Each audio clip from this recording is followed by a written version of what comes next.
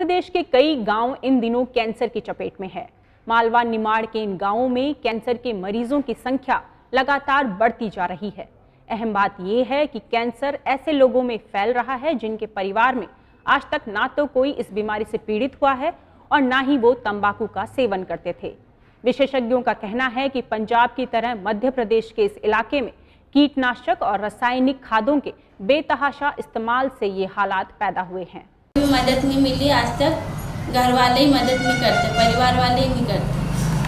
दूसरे तो ठीक है। कोई झांकने ही नहीं आता। मैं ये कहती हूँ, कभी भी भगवान करे कोई कोई बीमारी ना हो। मध्य प्रदेश में इंदौर ज़िले के गाँव हरसौला की रहने वाली कौशल्या बाई रीढ़ की हड्डी के कैंसर से जूझ रही हैं।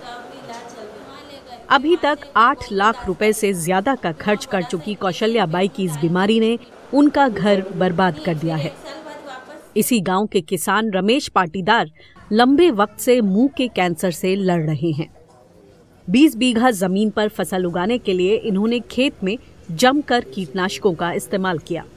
इलाज में लाखों रुपए खर्च हो चुके हैं, लेकिन बीमारी ने अब तक पीछा नहीं छोड़ा। फिर से कई भी नहीं हुई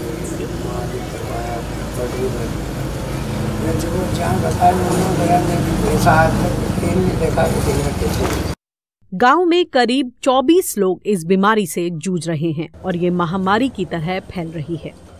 कई परिवारों में इस बीमारी से हुई मौत का मातम आज भी महसूस किया जा सकता है।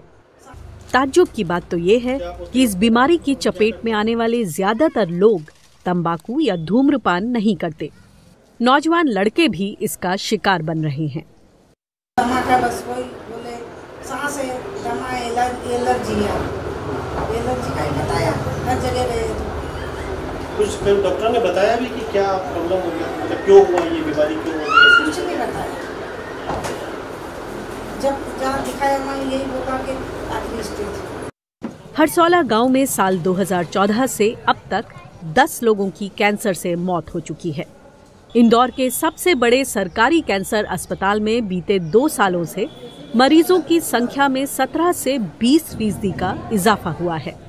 मध्य प्रदेश के मालवा में हरसोला की तरह और भी कई गाँव हैं, जहाँ कैंसर अब महामारी का रूप ले चुका है। ये एक बड़े खतरे की घंटी है। हरसोला में कैंसर की छाप लोगों के लिए फजीहत बन गई है।